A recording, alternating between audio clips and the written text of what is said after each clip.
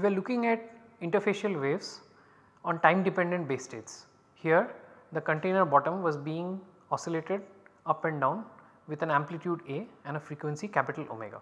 We had analyzed this problem in the oscillating frame of reference where we had found that the effective value of gravity would be g plus a omega square into cos omega t. This led us to equations for the perturbation velocity potential and boundary conditions and we found that the essential difference was that, that in one of the boundary conditions we had a time dependent coefficient. The coefficient was time periodic.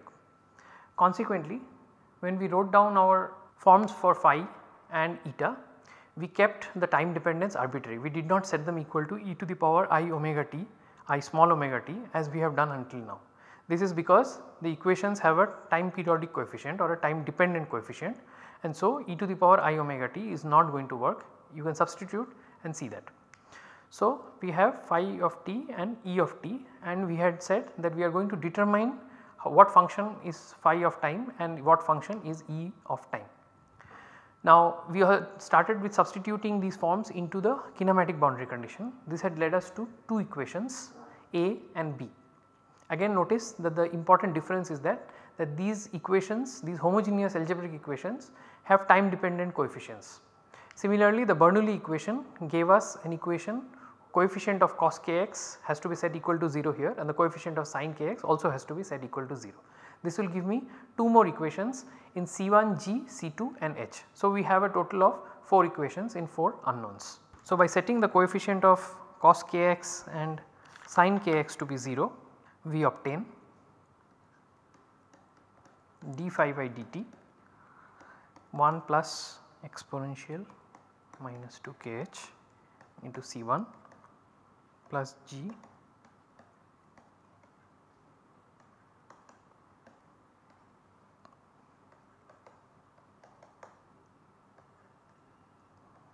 is equal to 0. Let me call this equation C and you can write down a similar equation for C2 and H. The coefficients remain exactly the same plus exactly the same thing.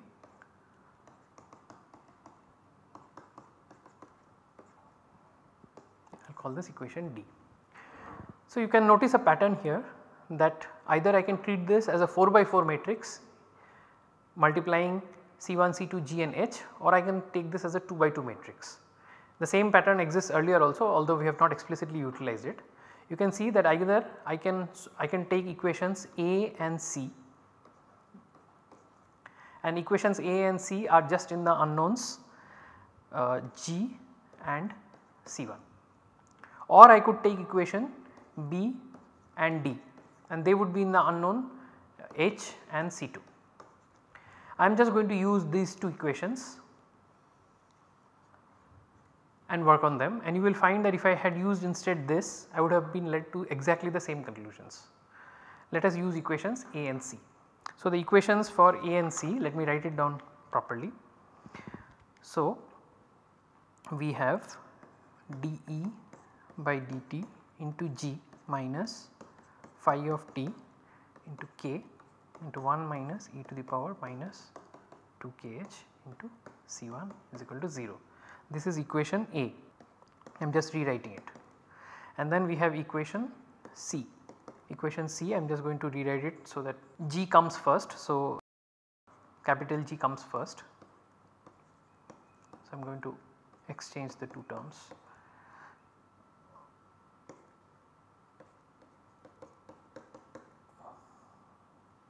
into G.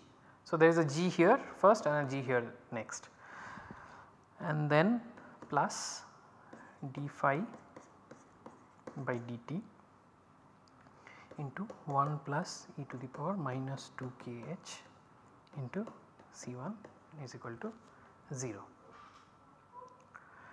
So, now you see we are going to analyze these two equations. These are two homogeneous equations in two unknowns G and C1. The only important thing to note is that, that their coefficients are actually unknown functions of time. This is unlike what we have done until now where in all the problems that we have done until now the coefficients have been constants and the determinant has led us to a dispersion relation. Here we will find that we will have to establish a certain relation between E and phi capital E of time and phi of time and this will render the coefficients of these equations to be independent of time. Okay.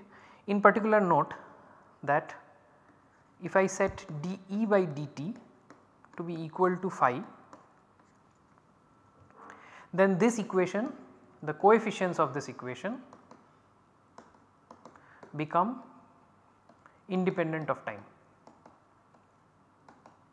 of time. You can see that very easily that there is a dE by dt here and a phi here. If I set them to be equal then I can write them as either phi of t into g minus phi of t into the rest and then pull the phi of t out that phi of t can be taken out as common phi of t is in general not 0. So, it is just the rest of the equation whose coefficients are time independent. So, if I make this substitution then the coefficient of the first equation becomes time independent. We will remember this and we will use this. Let us work on the matrix for this it will be a time dependent matrix and we will work out its the usual criteria that the determinant has to be equal to 0. This will ensure this will give us some, some equation where there will be both dE by dt and phi and then we will plug this assumption in into that equation. Let us work out the matrix first. So, our determinant will have dE by dt then minus phi of t k 1 minus e to the power minus 2 kh and then here there will be g plus a omega square cos omega t to e of t and then the next term is d phi by dt into 1 plus to the power minus twice kh is equal to 0. This gives us the equation dE by dt into d phi by dt to 1 plus exponential minus 2 kh plus g plus a omega square cos omega t into phi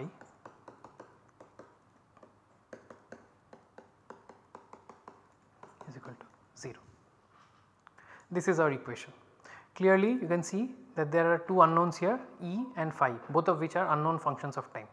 As I argued earlier if I set phi is equal to dE by dt. I have said this earlier that we are going to set phi is equal to d by dt. And this first of all it renders the first equation its coefficients become independent of time. So, if I set phi is equal to dE by dt then you can see immediately that you have a dE by dt here. This becomes d square phi by dt square into 1 plus e to the power minus 2 kh and there is a phi here and phi is dE by dt. So, I can pull out a dE by dt and keep it as common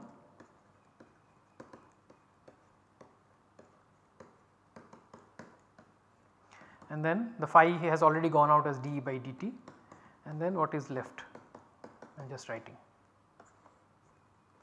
is equal to 0. In general dE by dt is not equal to 0. E of t is not equal to 0, dE by dt is not equal to 0 at all times. So, this is not equal to 0. So, the only other option to satisfy this equation is to put the quantity in square brackets to be 0. But this has the effect that it gives us an equation governing E as a function of time. Let us see what kind of an equation are we getting. So, I am just setting the coefficient I am setting the quantity inside the square bracket equal to 0 and this gives me d square E by dt square. There was a coefficient 1 plus e to the power minus 2 kh. I am dividing both sides by this quantity. So, this quantity is no longer there. So, this quantity will shift to the second term and the second term will become gk plus ak omega square cos omega t. There was a 1 minus e to the power minus 2 kh here and I have divided out by 1 plus e to the power minus 2 kh. So, this put it in a bracket and then this is E of t is equal to 0. I can simplify this further and write this in a slightly more compact form d square E by dt square plus you can see that this is nothing but if I multiply up and down by e to the power plus kh then this is e to the power plus kh minus e to the power minus kh divided by e to the power kh minus plus e to the power minus kh and this is nothing but tan hyperbolic kh. This is the familiar tan hyperbolic kh which has appeared before when we studied waves where there was no oscillation of the bottom. Now there is a oscillation of the bottom but the tan hyperbolic is still appearing. So I am going to write the tan hyperbolic. So this is this is basically tan hyperbolic. So I am just going to write tan hyperbolic before the curly braces and then just put it inside.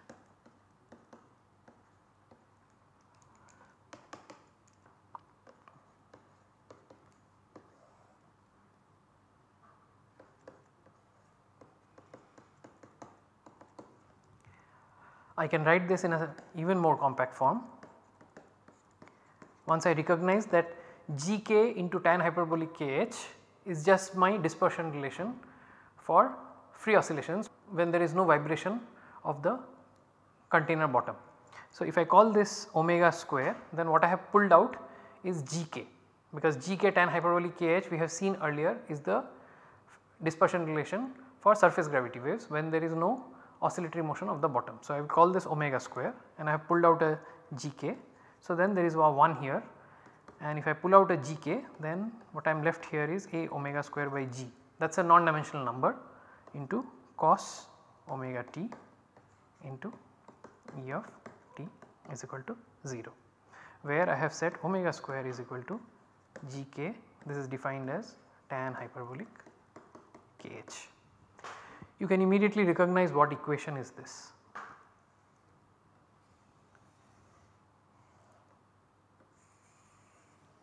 This is our familiar Mathieu equation. We had studied this when we had looked at oscillations of the pendulum. Now we are taking our container containing a liquid and a free surface in the base state and we are shaking it up and down and we are asking that if we put a perturbation eta on the surface does the perturbation what is the equation that governs the amplitude of the perturbation. Notice that all whatever forms we have chosen for phi and eta are in the standing wave form the space and the time part are separate. So, this is the equation that governs the, the coefficient E of t for eta and this is the Mathieu equation. We have looked at this equation in some amount of detail before and now we are again finding it you can now go back and check what is the implication that E is governed by this equation on these two homogeneous equations whose coefficients gave us the equation governing E. The choice dE by dt is equal to phi already made the first equation have coefficients which are not dependent on time. You will see that this second differential equation that we have got that basically ensures that the second equation here equations becomes the same as the first equation which is equation A. So, in other words these two choices dE by dt is equal to phi and the fact that these, uh, E itself is governed by a Mathieu equation makes both of these equations time independent equations both equations A and C the coefficients it makes it time independent. So, we are essentially finding that the amplitude of the interface which is governed by E of t is actually governed by a Mathieu equation. Let us see some limits of this and let us first convince ourselves that this is familiar and this reduces to the correct things that we have already derived. So, first you can see that in the absence of forcing, in the absence, so without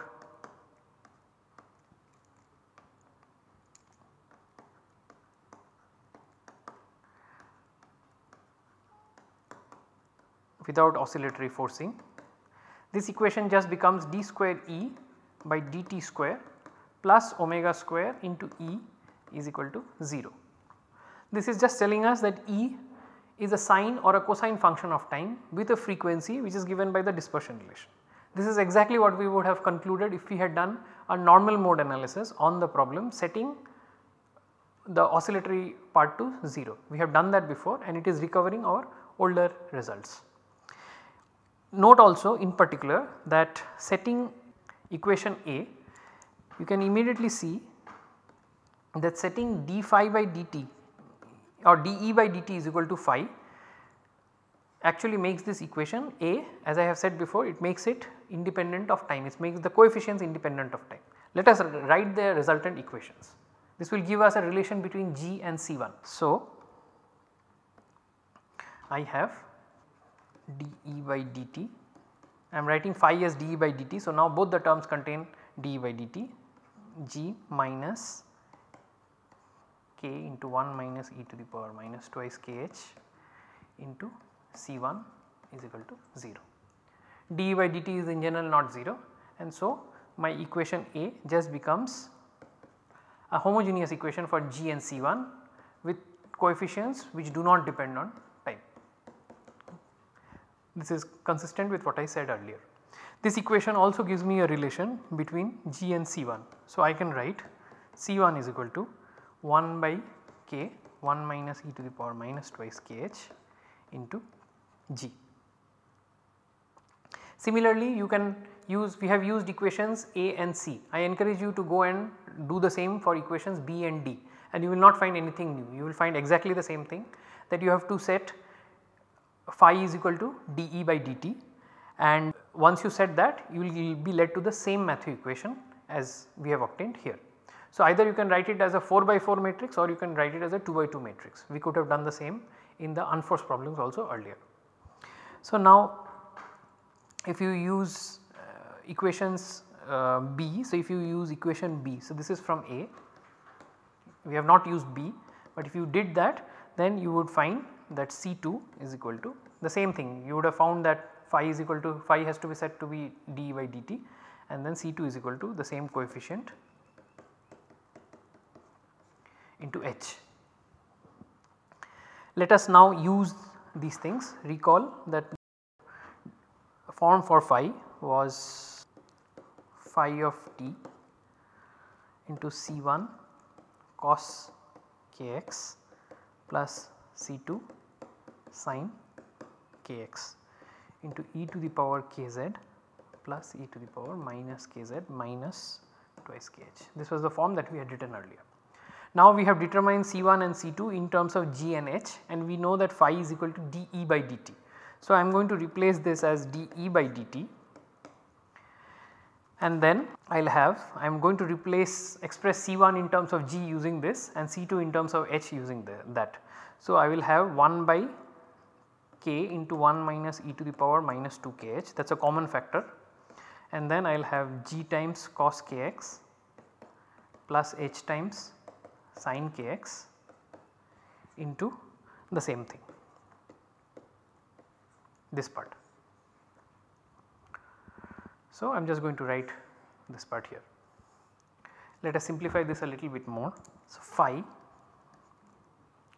is equal to dE by dt and I want to multiply and divide numerator and denominator by g. So, I will have a gk here into 1 minus e to the power minus 2 kh and then I have my usual space part which is g cos kx plus h sin kx into e to the power kz plus e to the power minus kz minus twice kh. I am doing this in order to write this problem in, in, in a manner which is as close as possible to the unforced problem that we had earlier seen. So, that you clearly see what is the connection between the forced problem and the unforced problem. So, I will write this as dE by dt.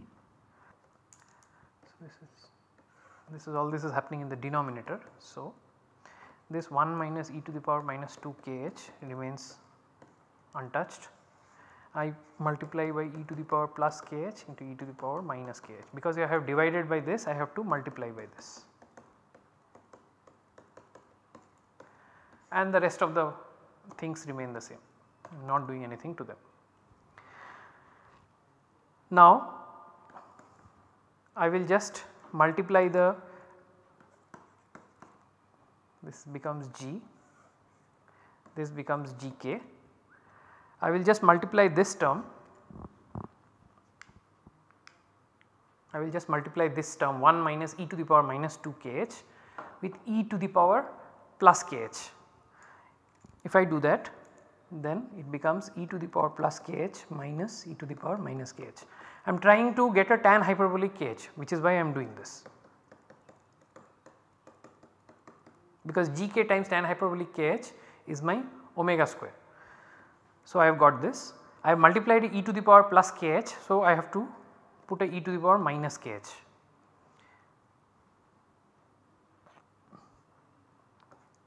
And then there will be e to the power kh plus e to the power minus kh and then the rest of the part remains the same. So, this just becomes dE by dt. The e to the power kh here can be shifted to the top and then there is a g and then I can write this as omega square. You can see that this part is now tan hyperbolic h. The entire thing inside the bracket is just tan hyperbolic kh. So, that is gk times tan hyperbolic kh we know is the dispersion relation for free oscillations. I have written that as omega square. So, and I have shifted the e to the power minus kh to the numerator. So, what am I left with? I am left with the remaining which is g cos kx plus h sin kx into e to the power kz plus e to the power minus kz minus twice kh and I have left out this factor here. So, I am going to put this here.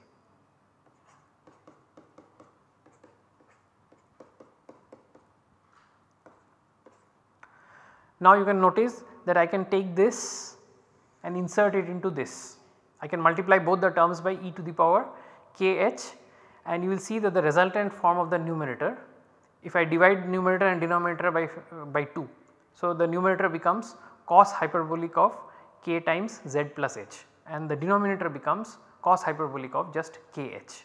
I encourage you to try this on your own it is a very simple step. Take this e to the power kh multiply the numerator and then divide the numerator and denominator by a factor of 2. So, multiply the numerator and denominator by half you will get cos hyperbolic kz plus h. So, this resultant expression for phi can be written as phi is equal to dE by dt into g by omega square. Now there is no exponential because I have shifted the exponential to the cos hyperbolic part, the x part remains the same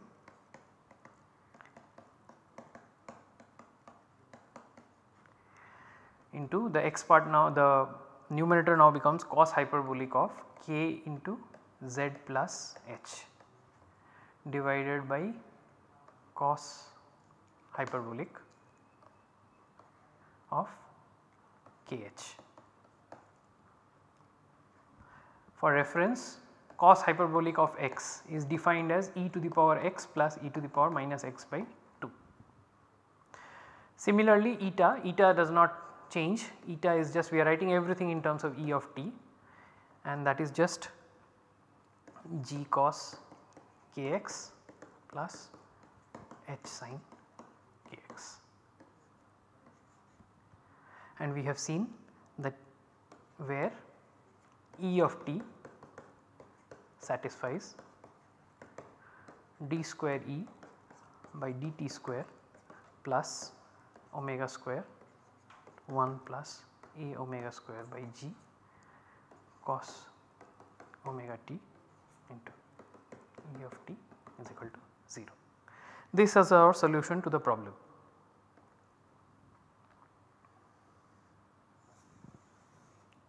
This is our solution to the problem.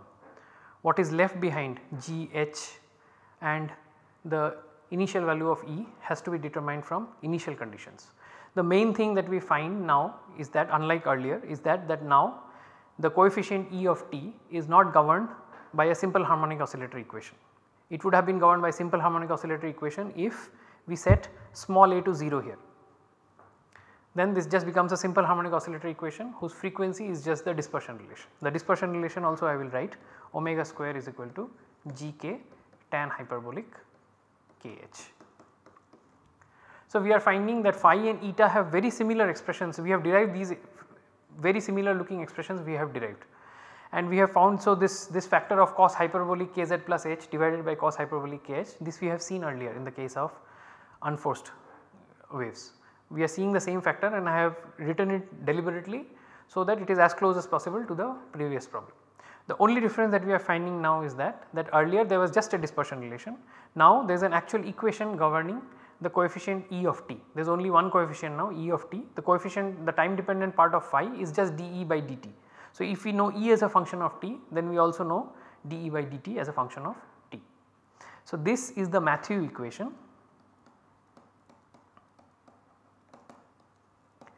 and we have looked at its stability chart in the in one of the previous videos early on in this course. In the next video I am going to analyze this Mathieu equation a little bit more and explain what it means for the fluid problem. What does instability mean for the fluid problem and we will also discuss some practical applications of this. It turns out that there are quite a few practical applications of this force vibration problem particularly for atomization applications.